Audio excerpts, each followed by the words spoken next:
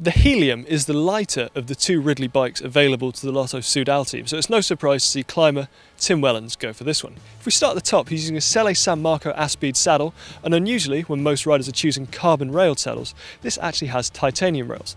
The seat post is a Deda Super Zero carbon seat post. The stem is a Deda Zero 100, and unlike many pros, Wellens goes for carbon fibre handlebars. These are Deda Super Zeros. The group set is Campagnolo Super Record EPS throughout. The chain set looks really striking, really good, and Wellens goes for the standard 3953 chainrings with 172.5 cranks.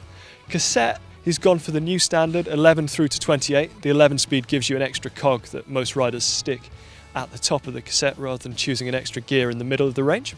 Pedals are Look Keo Blade carbon fibre pedals. Really nice looking pedal with a carbon fibre blade instead of the traditional spring. Wheels are Campagnolo Bora Ultra 50, so an aero model, but still light enough for a hilly stage. The tubulars are Continental competition tubs, and they're the pro only edition with the slick centre version and the file outer sections for more grip. One thing that Wellens doesn't have on this bike is a power meter. Some riders just prefer to go without that data in training or in racing, but he does have an SRM head unit mount so he can get his speed and heart rate data there. Now, because this is a climbing bike, I reckon it's going to be really, really light. So let's get the scales out and take a look.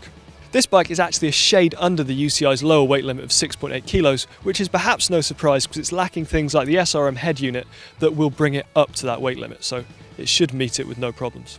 Looking at the measurements, Wellens is clearly a tall, rangy guy, with the reach being 62 centimetres and the saddle height being a pretty high 80 centimetres.